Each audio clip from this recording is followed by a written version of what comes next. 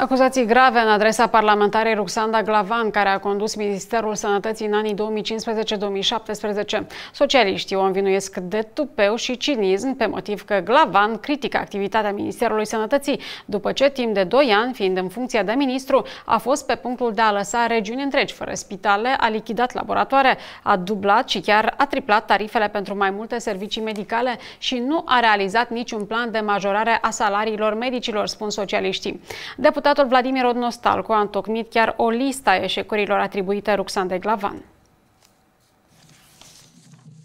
Odnostalcu susține că atunci când Glavan a venit la conducerea Ministerului Sănătății, în țară erau 26 de laboratoare, iar la plecare a lăsat doar 10. В этом ордене речь идет о реорганизации. На самом деле мы понимаем, что любая реорганизация у госпожи Главан подразумевает ликвидацию, как больниц. Помните там знаменитая реформа?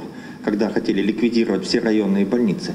Так вот, реорганизацию, то есть ликвидацию лабораторий, что привело к тому, что из 26 лабораторий, вот здесь вот список приложений, у нас остается только 10. Așa și-am intrat în pandemie cu doar 10 laboratoare și fără specialiști de valoare, susține parlamentarul socialist. Мы имеем сегодня правду. Пожалуйста, мы доказали, кто их ликвидировал. Поэтому, прежде чем кричать о том, что как все плохо, мы должны э, понимать, кто это сделал. Нужно быть честным, в первую очередь, перед самим собой. Но если человек привык смотреть в зеркало и ему все равно, то нужно понимать, есть сотни тысяч молдавских граждан, которые ждут результаты и которые ждут правды. И не надо им врать. Atunci când a venit cu o moțiune de cenzură împotriva ministrului sănătății, Viorica Dumbrăveanu, acum două săptămâni, Roxanda Glavan a acuzat conducerea instituției că nu oferă populației servicii medicale suficiente. Odnostalco susține însă că Glavan a uitat să amintească faptul că atunci când era la cârma Ministerului Sănătății, doar tariful pentru vizitele la medicul de familie a crescut cu 517%, iar consultațiile la stomatolog cu 400%. В 2017 году даже госпожа Главан, будучи министром здравоохранения, инициировала увеличение цен на медицинские услуги. Цены были подняты минимально на 300%. Итак, если посещение у врача до этого стоило 29 лей, сейчас оно стоит 150 лей. 517% сразу же. Удаление зуба. Пойдем по стоматологии.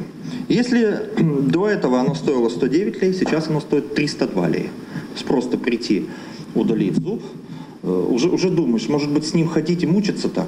Deputatul socialist este indignat de cinismul opoziției, care este gata să critique ieftin autoritățile și pentru faptul că numărul de pacienți infectați cu COVID-19 este în creștere, în timp ce aceeași tendință se menține în toate țările din regiune și lume. Я вам хочу сказать, что во всей Европе, во всем мире на сегодняшний день есть рост. К сожалению, это так. К сожалению, сегодня мировые фармацевтические компании и государства работают над изобретением вакцины для того, чтобы можно было провакцинировать население. Параллельно с этим э, занимаются и изобретением медикаментов. Более того, я хочу сказать, что наше министерство использует только международные протокола в соответствии с теми медикаментами, которые рекомендует Всемирная организация здравоохранения.